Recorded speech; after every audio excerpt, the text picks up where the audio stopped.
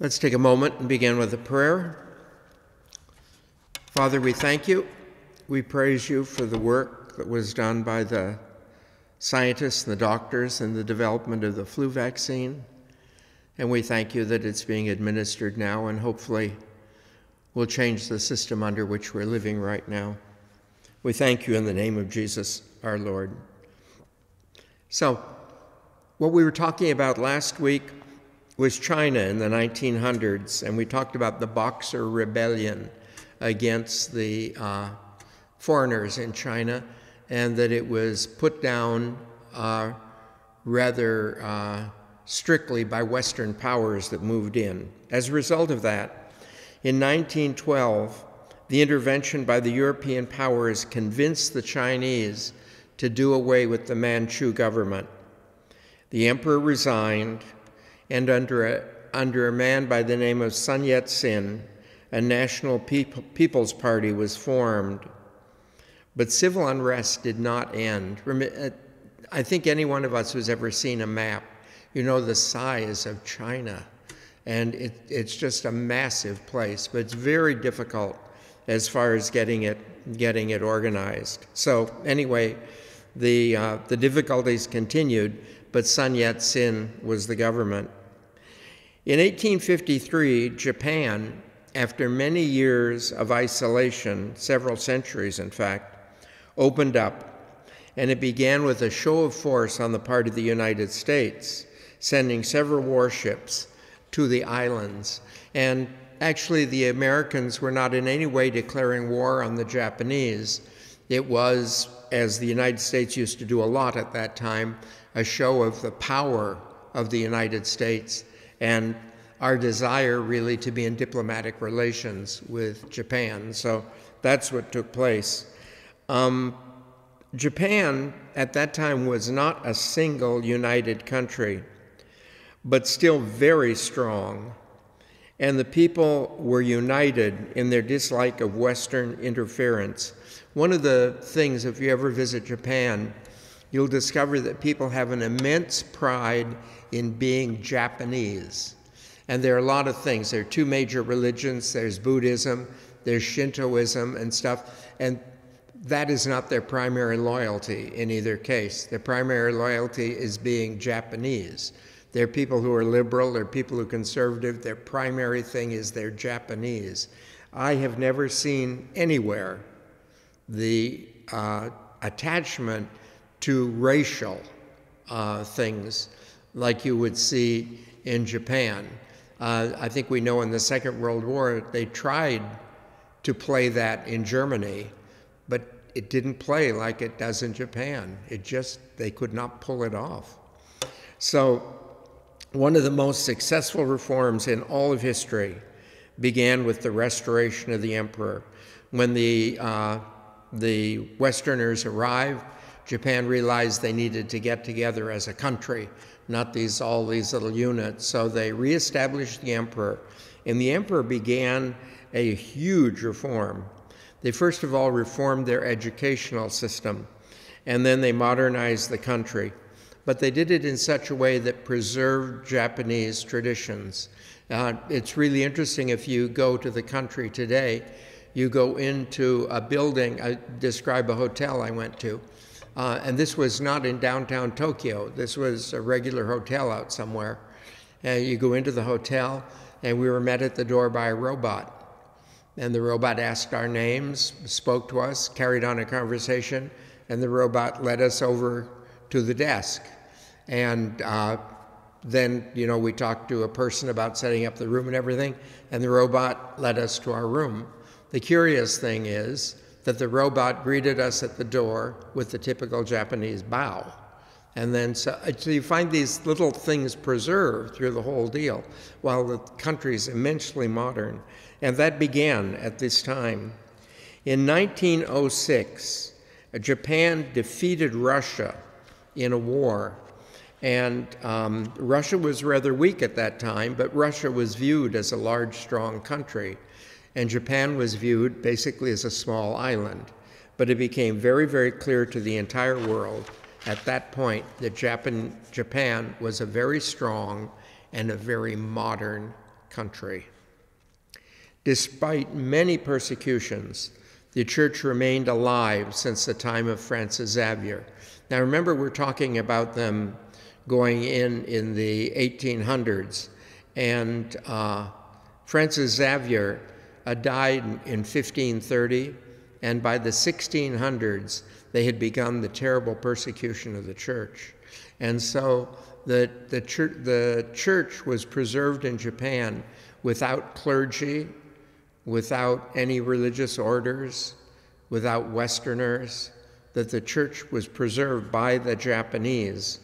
When Father Petitjean, who was uh, with the, uh, one of the chaplains on the American warships, when he arrived in Nagasaki, he discovered vivid proof of the presence of the church. He was approached by a group of Catholic Japanese who still followed the prayers and the catechisms of the Catholic Church. Incidentally, they asked him two questions. They asked him if he had a father in Rome, and they asked him if he had a mother in heaven. And they were referring to the Pope and Mary, although they didn't know their names. And so they took him out, and one of the things the Japanese people had no sacraments or anything, they were worshiping a small box that historically we've concluded was probably a box that was used to take communion to the sick at one time. So it was like a pyx and had held the Eucharist. So they, they basically worshiped it. And it turned out at the time there were 25,000 Catholics in Japan. Now remember, Nagasaki was the city to which the, um, uh, the authorities exiled all Christians at one point, moved them all there. So it would be natural if they were alive somewhere, that would be it. In 1889, religious freedom was given to Christianity, and Leo XIII appointed an archbishop for the city of Tokyo. Both Leo XIII and Pius X were on extremely good terms with the Japanese court. I think you know that in, in the Orient, whether it's China or Japan or things like this, the formal things that go on are very, very different than the way formal things go on here. And oftentimes, because of the, uh, what do I want to say, the, uh, the complexity of their formal traditions and the fact of their not being that really important. You know, you know the interesting thing is if you study, I'll describe it as politeness. If you study politeness, you discover you can't argue for any of the things being right. Like, why is it right to use a fork rather than a spoon? Well, there isn't a big deal to that. You'd think you'd use a fork for solids, and that's true. You'd think you'd use a spoon for liquids. That's not always true. And so we, we have all these different rules, but because we have these rules, you can sit down at a table and we eat a meal together in comfort. Um, when I was in uh, the Philippines, uh, I was at a dinner one time for uh, a couple uh, people, there were about 20 people there, but one couple was a couple that was really advocating the older traditions of the Philippines. And uh, one of the things they refused to use was utensils at the table. They ate with their hands, everything, you know. It actually makes you very uncomfortable at the table. Is there anything wrong with it? No. All of us have had a two year old who did it.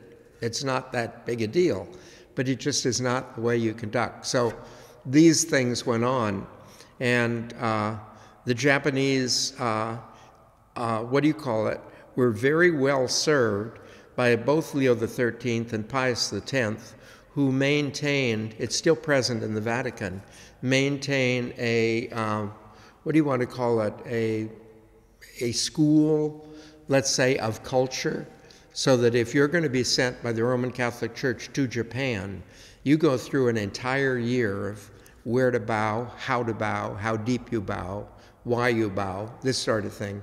And they go through all these things so you understand the customs and do not unnecessarily and accidentally offend another culture. Um, I, I, had an, ex an, example of that when I was in um, India. There was sort of an abandoned temple ruins on the, uh, the grounds of the hotel where I was staying. And there was a, um, uh, I guess I would call him a Hindu holy man who used to go there and just sit there all day, sit and meditate. And that's not unusual to find that in India. And uh, I was over looking at the place at one time, and he was, he was very offended because I was wearing shoes. But I wasn't inside the ruins at all. It's just that what I didn't know was the ruins had extended further out, and he considered it sacred from where the temple had been. And so, but there, there are things that, like that that it's, it's difficult if you aren't part of a culture. But there's a school, and again in the Vatican, to specifically train uh, Catholics who are involved in, in this sort of thing. Um, more Catholic missionaries came to Japan, but at this time there was actually an avalanche of Protestant missionaries from many different denominations. And by 1914, there were 70,000 Catholics. You realize that's about twice what there was when we arrived. But at that time, there was 100,000 Protestants, and they hadn't been there at all before. So they were, they were very successful with the, the number of missionaries and everything they sent. The numbers of converts were very disappointing to the Catholic Church. I think that's historically true. In Japan, um, the church has never really caught on. The people who are Japanese who are Catholics were very strong Catholics and stood through persecutions and everything. But there hasn't been that many that come. And I think there's still kind of a residual thing that the church is not Japanese, okay? That, that, that's a residual thing there that kind of prevents that. The um, influence of the church was extremely dramatic, however in schools, social work, publishing programs, and many Japanese actually knew much more about the Catholic Church than they ever did about Buddhism. The Catholic Church was very present in their society and everything. Now remember, they're attached to being Japanese, not to Buddhism. Okay, so they found out Catholic moral teachings tremendously influence the Japanese. And many Catholics rose to very important positions in the country, largely because of their morality. It's um, an interesting thing when you go to Japan to watch the whole. I'll describe it as as the morals and the way the way people deal with one another. Like stealing, you would not steal. Nobody steals in Japan. You just don't do it. The things, and and yet there's there's very little respect for women. Okay, but what this Japanese hold as moral standards, they're, they're very, very strong. Uh, when I was, my friend and I, when we were traveling on trains in Japan, um, if, if there were no seats and there were, you know, particularly elderly women standing, uh, we would stand up for them. But no, uh, no woman would let a man of my age give her my seat. They, they simply wouldn't do that. My younger friend, occasionally they did, but there was always an argument about it before they would take his seat. It's, a, it's just a, a, a very, very strange thing. But anyway, the Catholic Church had a huge influence in Japan, largely in the morals, in the teaching, and that sort of thing. Um, Shintoism, which is the traditional religion of Japan, actually grew a lot stronger under the influence of the church and there was a growing interest in understanding the Japanese religions on the part of the Catholic missionaries. And that's one of the things we've started, um, again, the 1800s. We've started in uh, the Catholic Church, uh, probably with Pius X before that, is that we want to understand the, the area where people are going. One of the, um, one of the things you study in philosophy is that Thomas Aquinas says this. He says, Everything that is said is heard in the manner of the listener. So uh, I'll give you an example. uh, when I go to Nativity Parish, which is an adjoining parish here, and, and teach uh, scripture uh, and uh, do liturgies, rather, I do Mass there almost every day because they, they still have Mass every day there. But uh, when I go over there on Sundays, I will usually preach two different sermons. It's because I say two different Masses, and I find it easier to have a different sermon at each service because I feel more enthusiastically involved in it than if I'm repeating a sermon from another service. But they will ask me, because they put one of the Masses online, they inevitably will ask me, Well, which one do you want online? And I would always tell them, I said, The one you think is best. Because it doesn't matter what I think is best. What you want to know is what did the listener think is best? And as a result of that, if we want to really present the Catholic faith, we have to know the basic understandings in the people. You can use words. I'll give you an example in the United States. You, you can use a word that is a death knell and not even think about it at all. When we in the United States think of crusades, we think of a lot of things. I think of the crusade against cancer. I think of the uh, crusades for different kinds of diseases and different kinds of collections and stuff like that. I think of all kinds of things. When you go to the East, the only thing they think of is the uh, troops from Europe who went through looting and murdering people in uh, the East. And if you remember one time uh, when the troops were going to, uh, I think, Iraq, George Bush said that it was a crusade against uh, the Al Qaeda or evil or something like that. But as soon as he said the word crusade, no one in the East heard anything else he said. All they heard was crusade. Now, if you're going to be teaching religion or you're going to teach anything, you have to know trigger words and how something is understood in the society in which you are, are living. So, um, people had very little knowledge of the culture, customs, and religion of Japan, and the Japanese interest in the church served to be a beginning of interest in anything Western as the church moving into Japan caused the Western countries to be interested in Japan itself as far as culture. In 1903, Pius X became Pope. He was personally a very holy man with a great concern for priests and a love of the poor, as well as being intelligent, hardworking, and an effective pastor. Pius XII was one of the best popes we've had in our history, and he came at exactly the right time. When, remember, the church had lost the uh, papal states, and the church was kind of adrift politically. Uh, we didn't have a country from which we spoke or anything like that. Well, Pius X was able culturally, culturally and stuff to identify with all these people because of his great pastoral approach. He was, I'll give you an example today would be the Dalai Lama. The Dalai Lama no longer has a country. The Dalai Lama is living in exile in Italy.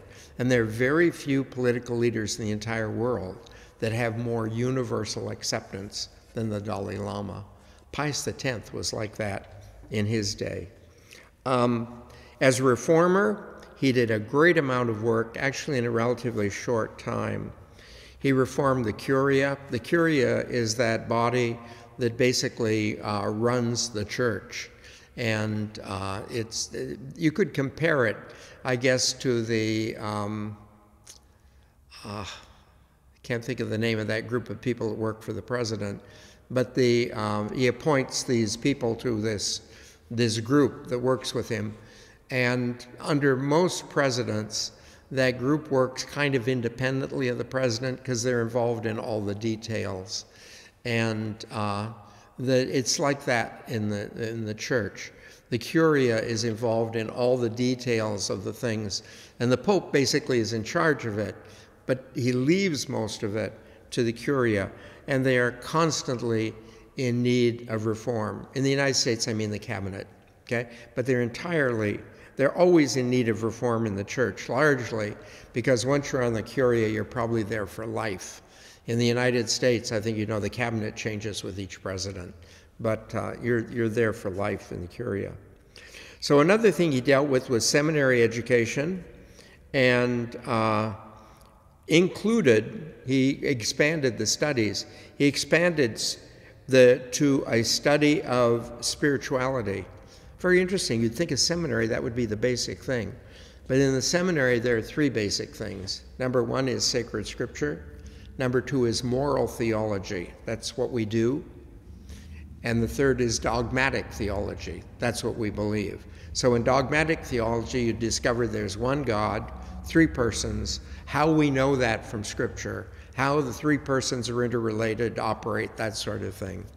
And then when you go into moral theology, you discover um, why stealing is wrong, how you deal with stealing, how you get over it, what's the punishment for stealing, all that sort of stuff. So those things. But he added, first of all, the spirituality study, which became very, very important. I would say in the seminary I was in, that was one of the most important studies. We had a, a spiritual director in the seminary who came from Hungary. He'd been the rector of the seminary in Budapest. And when the uh, Nazis came in, he went to a concentration camp. He was released when Hungary was liberated and then put back in a camp by the communists. And uh, eventually, during the revolution, which Cardinal Mindszenty was part of in Hungary, he came to the United States. But what he did was take a year, let's say one year in the seminary, we studied Ignatius uh, spirituality, which is the Jesuit. And each evening he would give us a talk on Ignatian spirituality and we were asked to follow Ignatian spirituality for the year. Ignatian spirituality is founded on obedience, absolute obedience. Okay? So we would do that. The next year we'd take Franciscan, and he'd talk about the different things of the Franciscan spirituality through the year. And Franciscan spirituality is basically founded on poverty. That's figuring how much you can do without. Okay, it's, it's a whole thing of poverty. But he did this with these different kinds of spiritualities. And uh, the Carmelite spirituality is built on how you deal with suffering and difficulty. And so each of these, and we do it for a year. And then he said at the end of the seminary, we would have done eight years of that. Uh, so we'd encounter eight different spiritualities. And at the end of that, he hoped we worked out his spirituality probably taking piecemeal from these for one that worked for us. So anyway, spirituality was included. Another thing, he added a year of philosophy. Uh, by the time I entered the seminary, there were two years of philosophy before they allowed you to start studying theology.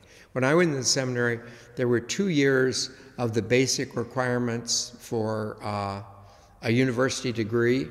We call them the required subjects. That was followed by two years of the studies that you would complete for your degree if you were going into any particular area. Um, in the seminary, where we were going was into philosophy. So the second two years were philosophy. First were our requirements, second were philosophy. Those four years, we ended up with a baccalaureate in philosophy. Then you started four years of theology. And the basic thing of philosophy Philosophy taught you two things it taught you how to reason very carefully, and it simultaneously uh, taught you the meaning of words. So that, like, everyone, when someone said a word, everyone meant the same thing. I, I, just to give you an example, uh, I was listening to a discussion the other day where the people who were talking were confusing two words. One is concentration camp, and the other is ghetto. And a concentration camp and a ghetto are both places that isolate a group from society itself. Okay? So the, the Nazis tried to isolate the Jews. Okay? But you know, the Jews isolate themselves sometimes in a ghetto. The difference between a ghetto and a concentration camp is whether the people choose to be there. So if I were to decide I want to live in a community of nothing but Roman Catholics and go into a little town where that would be a ghetto, okay? And we find in the United States we have Italian ghettos, Mexican ghettos, and stuff. A lot of our cities have ghettos. But a ghetto is where people choose to live. A concentration camp is where the government forces them to live. Okay, so they're a lot alike, but there's a slight difference. In philosophy, you learn to use words correctly so that when we're discussing theology, particularly, we're all talking about the same thing. So we had the philosophy there. Finally, he demanded that seminaries use the standards of public education, which is why I had to do two years of requirements as the beginning of the whole thing. So our standards have to be the same as the uh, colleges. And that's why many seminaries are connected. The seminary I went to, first seminary I went to was on the campus of the University of San Diego. The second university I went to was in the University of Ottawa, Canada, and the studies were at the university, although we lived separately from it. I also went for uh, a couple of summers to Catholic University in Washington, D.C. But by having them actually universities, that guarantees that you're going through the requirements of uh, public education. He also started the requirement called the ad limina requirement that every bishop, once every five years, goes to Rome. And you can almost see the tenor of the, uh, of the church at a time. Like, for instance, when John Paul was elderly and the Curia was more in charge than John Paul was, when a bishop went to Rome for the Ad Limina visit, the five year visit, he usually was lectured by different people out of the Curia about what they wanted done in his diocese. Whereas if you would look at the beginning of John Paul, and then the later bishops as well, the ad limina visit was for them to tell the Pope what was going on in their diocese and what they thought they needed. It was a very, very different thing. But it's once every five years, every bishop is supposed to do this. Unlike Leo XIII, Pius X was not interested in the study of new ideas and trends in philosophy. Uh, philosophy was going through a big change. Now, the whole world was going through a big change at this point. But uh, he was very um, uninterested in new ideas. And uh, so, in, in one sense, he was very liberal about upgrading the church and that sort of thing. But he was very conservative with, with new ideas. Um, he renewed the confraternity of Christian doctrine and had a new catechism prepared for the church. You can always tell when there's a conservative movement, there'll always be a catechism, which is a list of things you can, can do and can't. Christians of many denominations at this time were rethinking their theology in the light of the modern world. I'll give you an example in, in the, uh, just in, in scripture studies. Um, we, at this time in scripture study, we had a specific date at when the world began, and by specific, specific date, I mean like 10 centuries ago or 20 centuries ago. We had a specific thing. It was based on the ages of the people as the descendants from Adam. The, a seven day creation, Adam was created, everything started, so we could figure out from how long those people lived, uh, how long the world was gone. But the discovery of fossils and things like that were saying that that was wrong, okay? And so, so we had to kind of look at things like that. But there was a lot in science that was going on that was very questioning of, of theology. Um, Pius X came out very harshly against all of this, and it's generally agreed today that theological scholarship in the Roman Catholic Church suffered greatly under Pius X. Now, he increased the education. There's a lot of things that he did were very, very good, but scholarship in the church suffered. Um, some of the modern thinkers at the time left the church, but most sort of um, submitted. One of the interesting things in the church, if I were to study something that was very, um, the church considered it, it was outlandish, the church would not tell me not to believe it, and the church would not tell me not to study it, but the church would say, I can't teach it. Okay? Because you can't tell someone to believe something, they believe what they believe. And you can't tell someone to contradict their understanding, but you can tell them to be quiet. And so that's normally the way the church kind of kind of deals with this thing. And a lot of scholars could not take being shut up. An example I would take in the Roman Catholic Church is Teilhard de Chardin, who was doing huge studies in paleontology. And everything he was coming up with was, of course, contradicting the fact that the church was found, uh, the world was created, let's say, 5,000 years ago or something. Everything he was studying uh, was throwing that out. So the church told him to be quiet. We have today over 30 books that were written by Teilhard de Chardin, and during his lifetime, he never published one. Okay? He kept his notes, everything, did exactly what he was told, kept up his studies, and we have all of his theology. I oftentimes think today that if Martin Luther had had that attitude with the things he wanted to see done in the church, what we had happen at Vatican II would have happened 200 years earlier. But he would have to keep writing and keep quiet. You know, that's very difficult for a scholar, extremely difficult.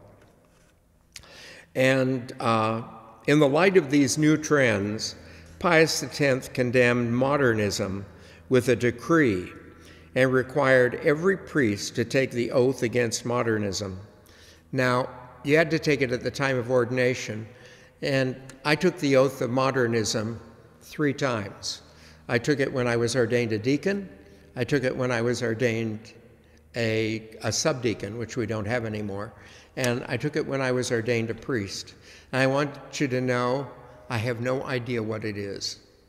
And it, there was no clear definition of modernism. It was almost as though you have to be very careful of anything that's new. Well, careful is one thing, okay? But you figure out whether it's good or bad or anything. But you're careful about anything you haven't seen before. That's just sanity.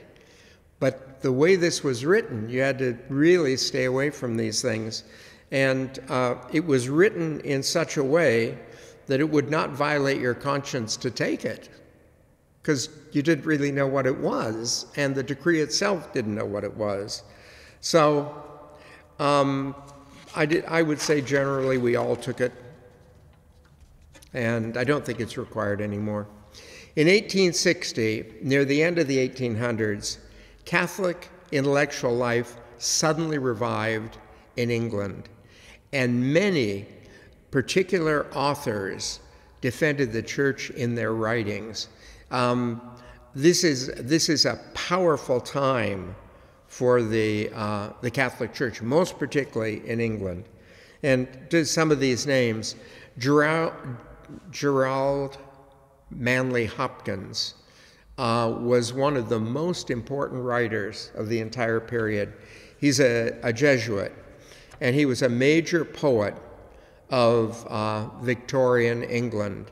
And I think probably he wrote, if I remember correctly, he wrote The Hound of Heaven, which is probably the best known of his works. He revolutionized English poetry by his use of what's called sprung rhythm, which emphasizes the rhythms and the sounds of words so that they, they, they rhyme. G.K. Chesterton was a poet, and he wrote essays and novels. And he had a very unique style. His books today are still very good. But um, G.K. Chesterton, his works were full of paradoxes, and he had a great ability to write with huge humor about very serious manners. In a lot, in a lot of his, uh, uh, here's serious matters. In a lot of his works, he will describe the working conditions in England and the, the terrible uh, problems that people were going through in the beginning of industrialization and everything. But he had a way of making it humorous. And I think you know that if you can make something humorous, people can understand almost anything. They can, they can read it relaxed if it's, uh, it's made humorous. There were also a number of authors in France at this time and they turned their study to the church.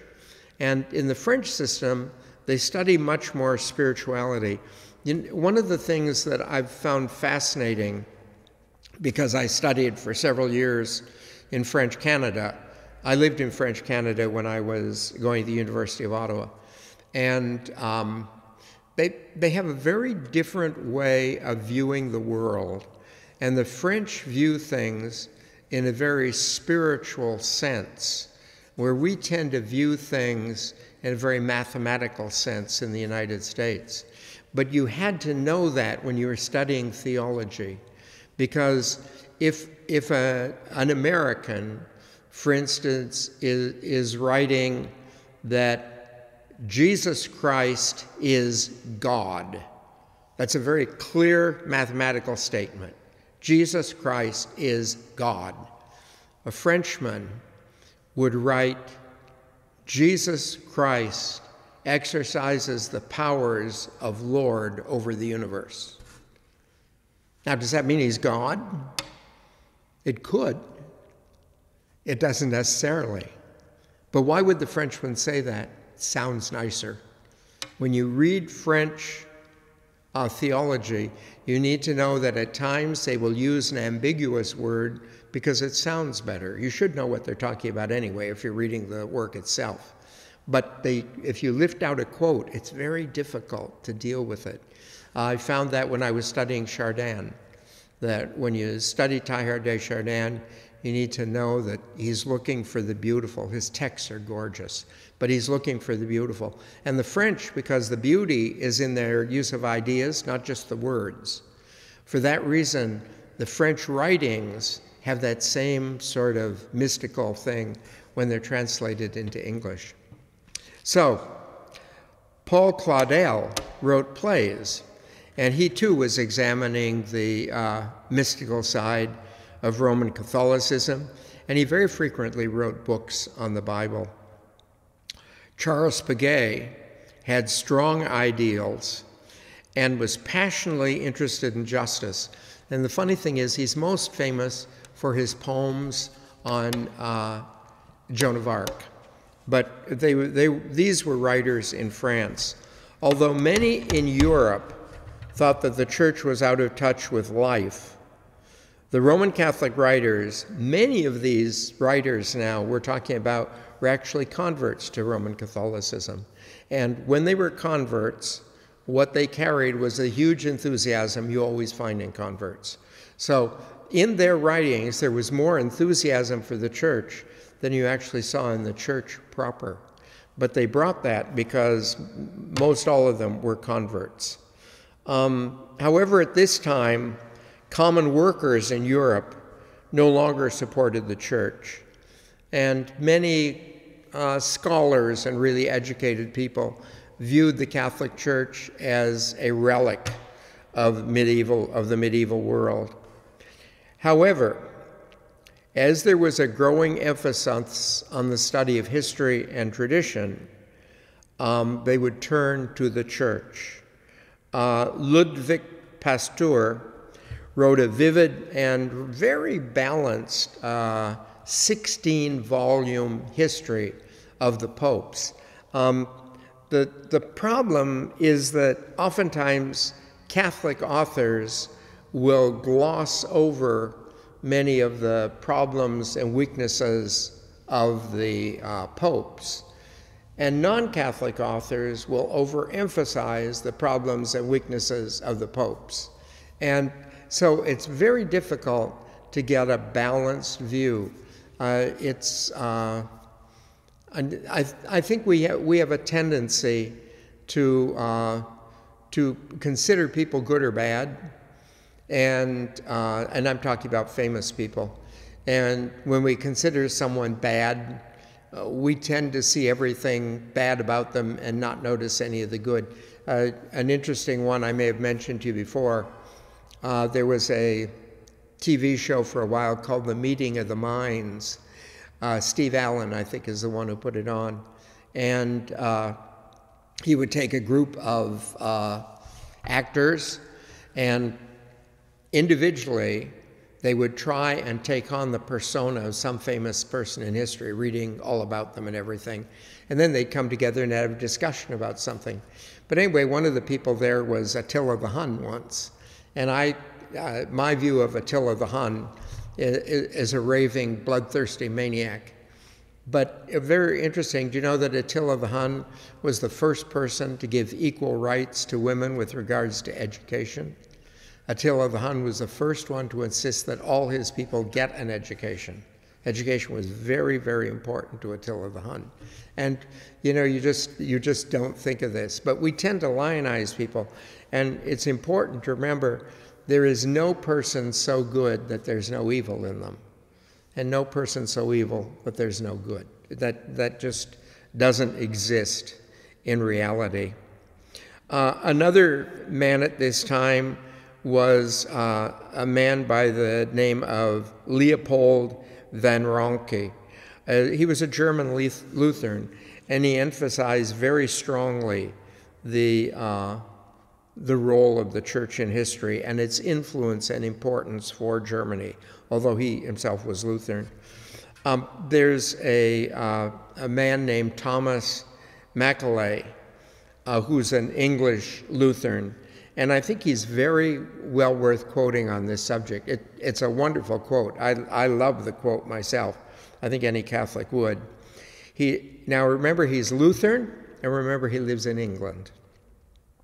There is not, and never was on the face of the earth, a work of human policy so well deserving of examination as the Roman Catholic Church. She saw the commencement of all the governments and all the ecclesiastical establishments that exist in the world today.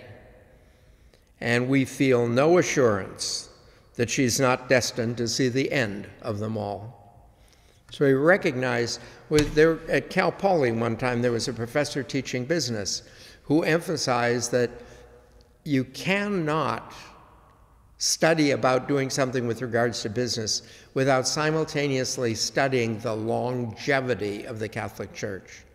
What is it about the Catholic Church that gives it such longevity that we've survived governments against us, we've survived totally corrupt leadership in the church, we've survived just all kinds of things, and there's something about it.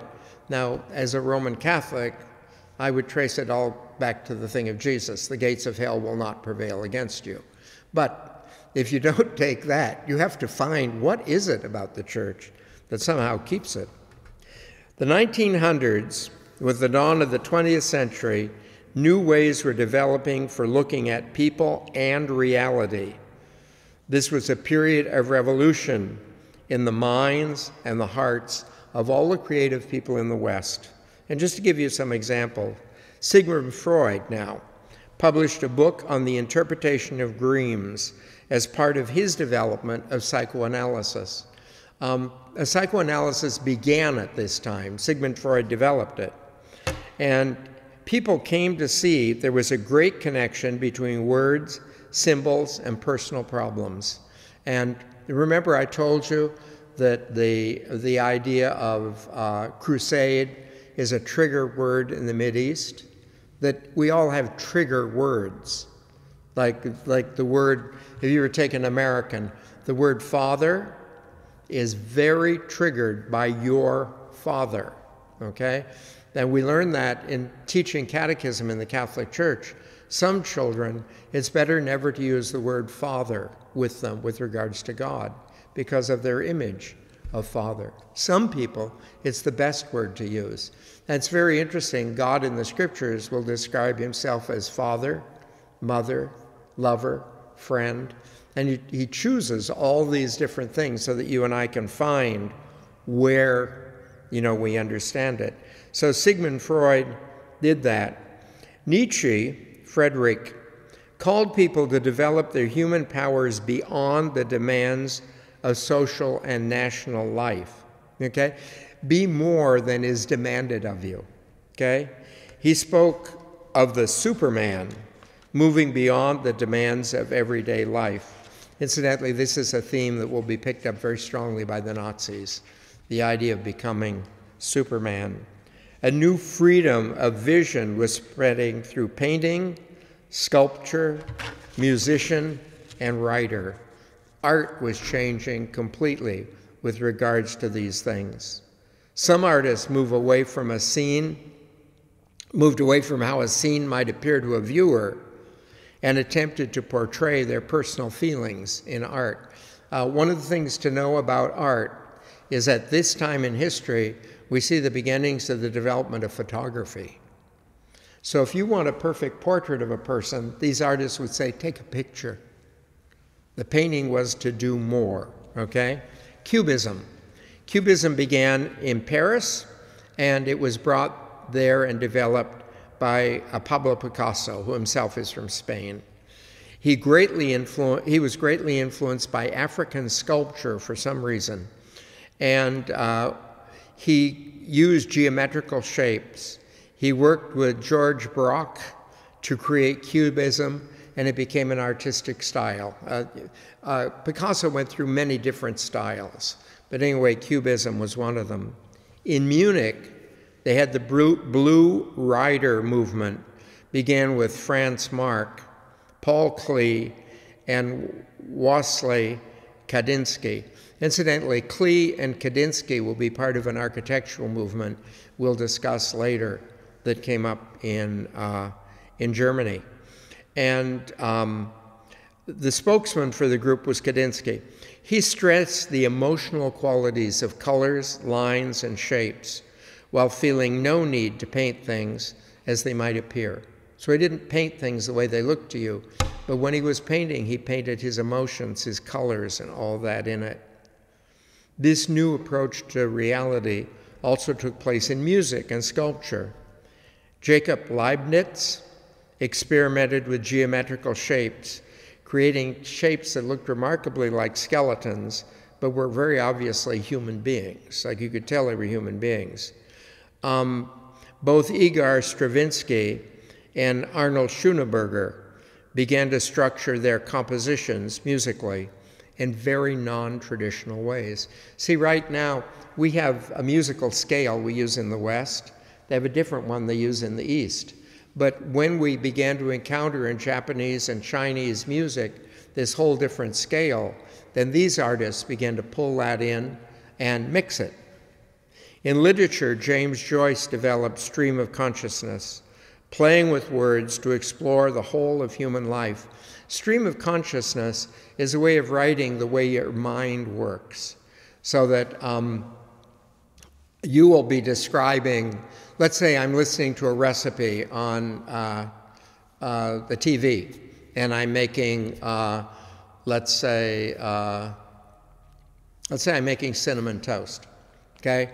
So he will describe about the use of bread. And when he does, I consciously smell home baked bread my grandmother used to make. They used to, one day a week, they would bake all the bread they would need at the house. And that was a wonderful day. The smell was in the house, and you go in and you take the end of the loaf off and put butter on the hot crust. Everyone did that that day, and it absolutely. So you, you mentioned bread, that comes to my senses we go to cinnamon, and I remember the rolls my mother used to make for Sunday morning. And I mean, that every word carries feeling, emotional response, and sensual things to it. And usually that goes through our mind so fast we hardly notice it, but James Joyce triggered on it. And an example of that, again, is the use of the word crusade, which triggers this, this picture of armies um, the Frenchman Marcel Proust explored the links between time and eternity, memory and experiences. See, that's much the same thing. What is the linkage there? He thought that all of life's experiences were to be found in the writer's memory of things past, so that one of we all have common experiences. We all have experiences of being in love. It's different, but we know what it is. We all have experiences of oppressive authority. We all have experiences of authority that's encouraging. We have all these experiences. And Proust would call us to somehow uh, catch these and bring them to the fore. Okay, why don't we call it there and pick it up here uh, next week? Thank you very much.